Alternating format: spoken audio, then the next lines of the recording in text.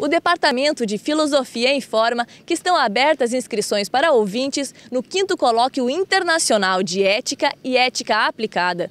O evento ocorre de 18 a 21 de junho e o tema debatido será Sentimentos Morais. A programação conta com palestras de professores de diversas universidades e também com conferencistas da Inglaterra e Estados Unidos.